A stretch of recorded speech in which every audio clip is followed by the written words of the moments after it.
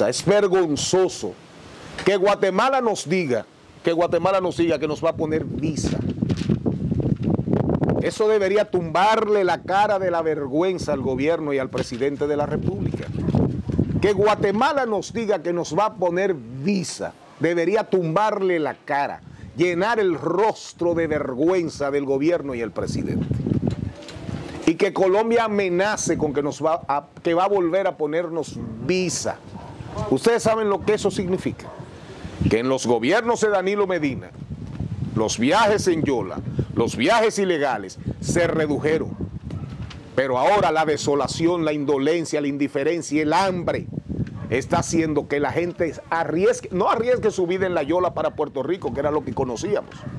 No, que den la vuelta por el Darién, que se vayan por Guatemala, que crucen el río Bravo, que arriesguen su vida entre carteles, entre cárteles del narcotráfico.